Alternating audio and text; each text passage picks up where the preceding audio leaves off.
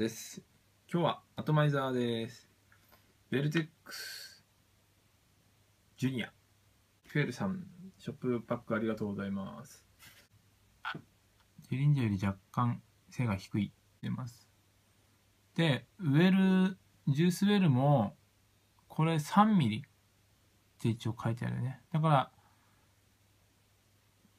デリンジャーもうちょっとあるんで、多分その分が犠牲になってんのかなと思いますね。これね、30、ん忘れてた。30ゲージかな？30ゲージを手でくるくるツイスト。これ26だか8だかぐらいの普通のカンタル。ツイストしないカンタル。これのパラレルでシングルで組んでみようと思います。えパラレルの5巻きシングルでおよそえっ、と、およそ0.5ですね。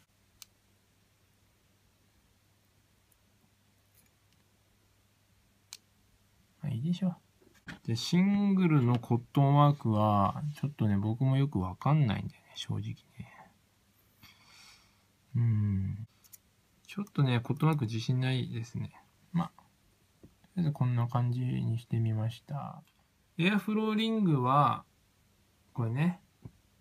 これはこう、三つ穴が、こういう細長い三つ穴が2つ両側に開いてて、内側の方でね、キャップでコントロールするようになってます。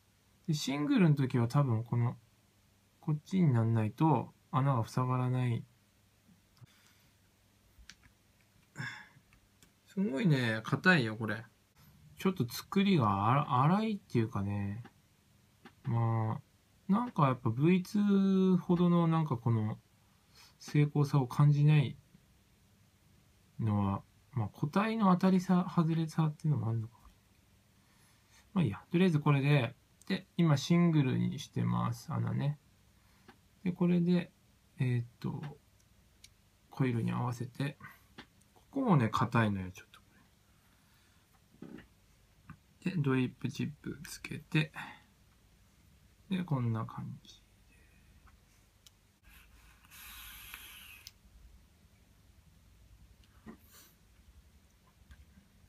うん。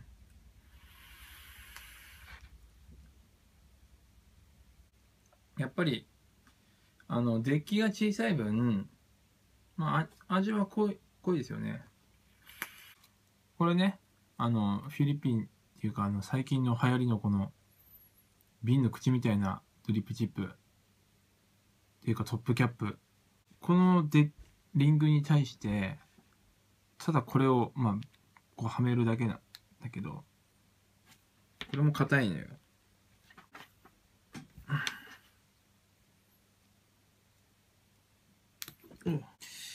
うん、なんかどっか飛んでてたね。もう多分使わないよ。あれね。うん。だって入んないし。はい、3日うん。せっかくだからね、もう一回チャレンジするよ。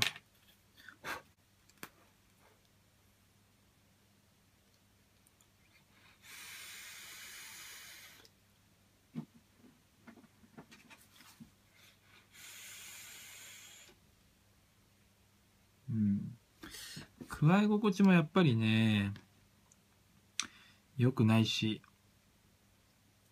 正直やっぱりそんな程度だなあんまり需要っていうか感じないですね、この必要性を。最終的にね、ちょっと反対側のジュースウェルにも綿をちょっと詰めてみました。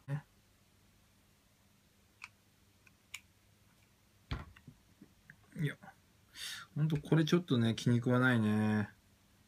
これさ、でも、俺ね、このだるいもそうなの。このだるいレビューするね。これ、ほんと好きなんだよ。何が言ってさ、この、わかる？この、すげえ重てんだよ、こいつ。ね？すごい重たいし、すごい大きいわけ。ね？え。ね？かたやさ、ちゃくてさ、絶対こっちの方がいいと思うの。でもさ、これは、本当に、あの、無駄のない良さだと思うんだよね。無駄を排除した良さ。でもさ、これは、なんていうその、無駄の良さっていうの。この、ごつさ。だから、フィリピン製のね、この、非合理なやつ。まあ作りのちょっと荒いところはやっぱり気になったりするんだけど、趣味の世界だから、こういう無駄なごつさとか、無駄な、なんていうの、重さとか、大好きなわけ。だから、ベルテックスも作りの雑さはあるし、ちょっと今回残念なところもあったけど、なんだ工業製品にね、やっぱりこの、人が作った感っていうの、手作り感が感じられる。まあ、味はいいし、ビルドもしやすいし、今のタイニー系のね、頭の中じゃ、まあ、やっぱりデリンジャーがちょっと抜けてるとは思うけど、その機能とかで見たらね。ただやっぱデリンジャーは、その、無駄のないかっこよさ。こっちは、その、なんていうの、少しね、無駄、無駄っていうかその雑味のある面白さっていうところで、まあ、どっちもいいところあるんじゃないでしょうか。今日はベルテックス2の、ベルテックス2じゃないや、ベルテックスジュニアの紹介でした。